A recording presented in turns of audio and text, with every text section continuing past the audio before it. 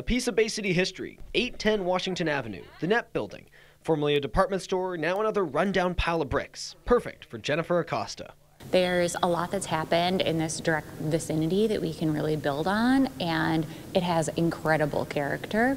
Born and raised in Bay City and now living in Midland, Acosta is a real estate developer. She's restored other buildings like the Times Lofts and the Legacy. Downtown Bay City, when I when I graduated high school and, and was down here a lot, we didn't have what we have now. Her latest project is the Net Building. She gave TV5 a behind the scenes and sometimes in the dark tour. If you stand just right angle and get the light all throughout, and they actually all have different patterns. So there's a sun, that one's Wow, something else. the detail. The plan is to put retail on the ground floor and Airbnbs on the second floor. we'll actually um, bring in a different designer to do each one. They will all have a very unique look and feel.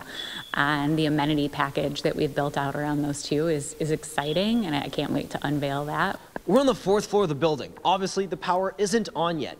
They plan on turning these into condos. Some of the ceilings are so high, those units will be two stories. Acosta hopes to have the retail spaces open late summer or early fall of this year, and the rest of the floor is done in about a year and a half. Material supply chain has been something that, that we're dealing with. So it's one of the reasons that we want to get in early and do all that design work and start ordering everything that we need in those long lead time items. The price tag, just under $5 million. In Bay City, Trevor Sahaki, WNEM TV5.